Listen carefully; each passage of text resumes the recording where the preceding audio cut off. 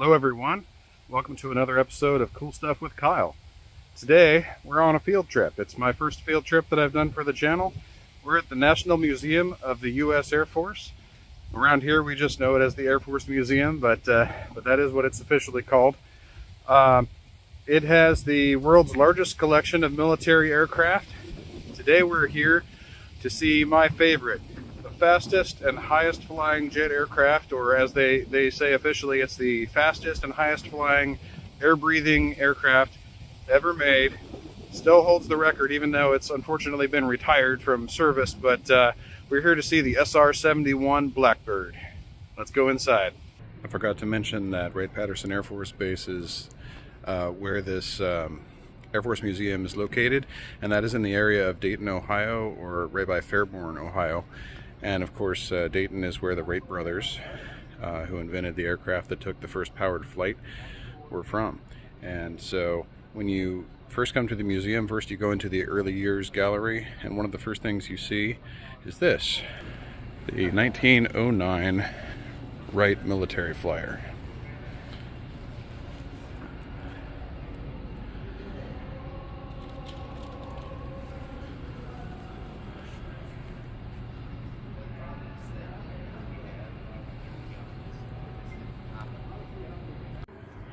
There are many aircraft I could show you at this museum. There are hundreds, but uh, remember we are here to see the SR-71, but on the way there I'm just going to show you a few little highlights. This is a very famous plane, obviously the actual Memphis Belle. There were movies made about this plane. I'll just show you a brief uh, view of the Memphis Belle here. Another very famous plane I have to show you when you're at the Air Force Museum. This is the Bockscar the B-29 Superfortress that dropped the second atomic bomb in World War II on Nagasaki. The other plane that dropped the first bomb on Hiroshima, that is at the uh, National Air and Space Museum at the Smithsonian. But right here at the National Museum of the U.S. Air Force, the famous or perhaps infamous Bockscar.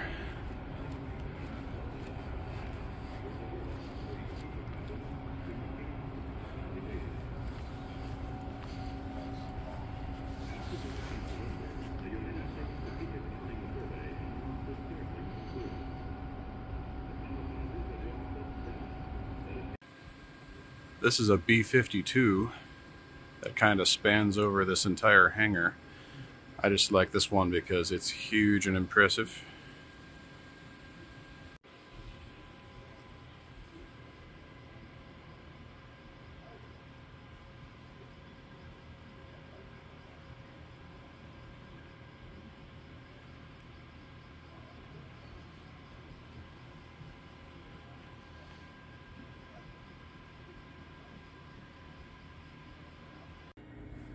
Now we've entered another gallery and we've found a B-2 Spirit stealth bomber.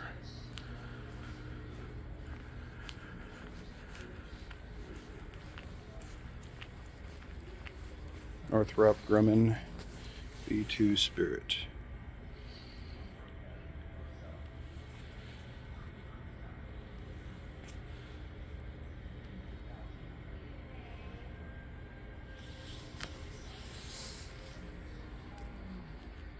And look at what we've found.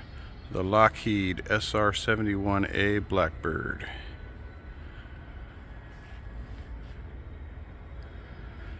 As it says here, the Blackbird remains the fastest and highest flying production aircraft.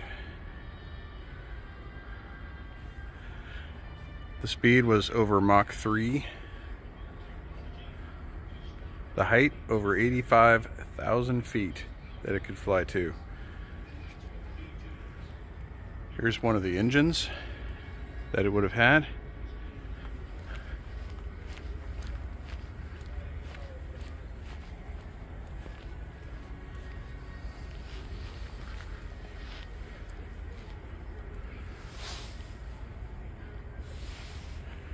This plane is my favorite just because of how fast and how high it could fly. It was a reconnaissance plane. They used it, uh, you know, to fly over other countries and and basically spy. And um, missiles were fired at this plane, I believe, hundreds of times, and never was one confirmed to have been shot down. I just wish I could have seen one fly. We'll go take a look at the other side of the SR-71 here. You can see it was a two-seater but a huge plane, I think, for a plane that carried just two people.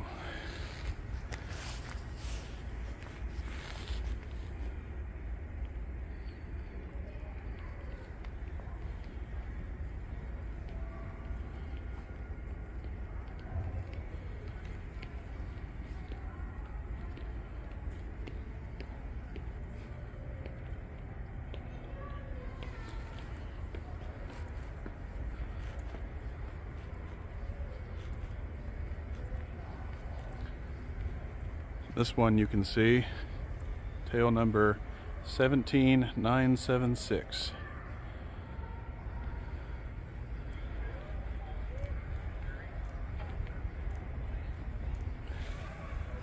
And that is the SR-71. I think there might be a couple more aircraft here that I'll show you if you want to stick around to see those briefly, but this is what we came to see, the SR-71 a nice docent at the museum here pointed out to me that there's a balcony where you can get a really nice view of this gallery and specifically of the SR-71 here.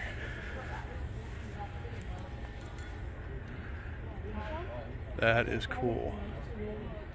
see if we can zoom in just a little bit.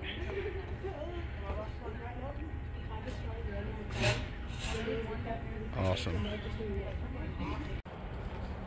This large white plane here. Very interesting thing about that plane, it's the only one left in existence. There were two of these built. The XB-70 Valkyrie, it was a supersonic jet aircraft and it was a bomber, so it's absolutely huge. And uh, this is the only one left because the other one was lost in an accident.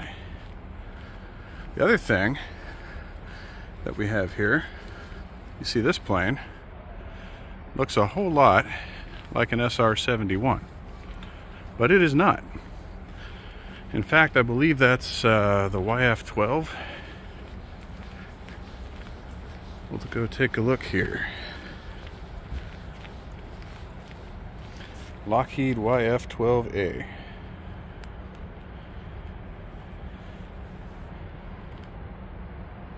Based on the same thing that the SR-71 was based on. Very similar to the SR-71, but a little bit different. And then back to the XB-70 Valkyrie here. We can get a good view of the front there.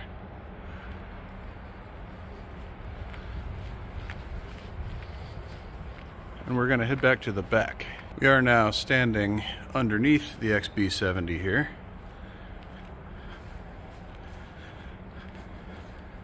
This thing has some huge impressive engines on the back. I want to show you guys what these things look like. Unbelievable. One, two, three, four, five, six engines right there in a row, and these things are enormous. XB-70 Valkyrie, really cool plane.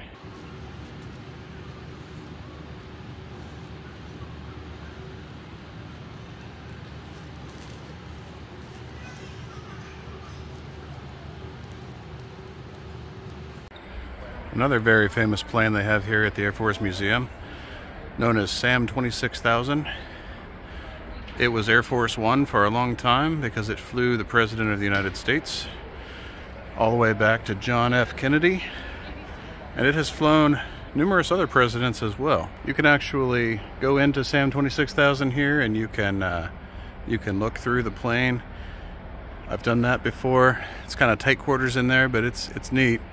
They have other presidential aircraft here too. They have a whole presidential aircraft gallery. But this one, I think, is the most famous one because of all the presidents that it's been involved with. You can see the seal of the President of the United States up here on the plane.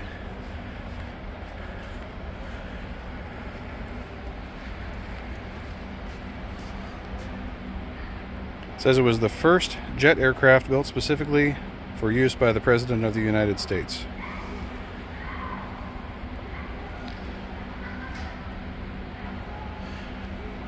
It says that it has carried eight American presidents Kennedy, Johnson, Nixon, Ford, Carter, Reagan, George H.W. Bush, and Clinton.